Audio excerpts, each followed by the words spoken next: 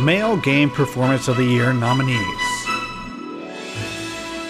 Jakub Kwasny sets new CAA mark in 100 fly at the CAA Championships.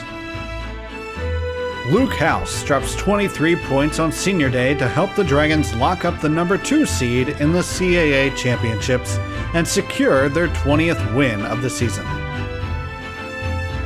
Luke Tomak scored five times as Drexel held off Hofstra 13 12 in a pivotal conference matchup. The men's rowing team took home the men's title for the third consecutive year, as well as the overall points championship at the Dad Vail Regatta. The team also captured a third consecutive win in the Varsity 8 race, the first to do so in 23 years of the regatta.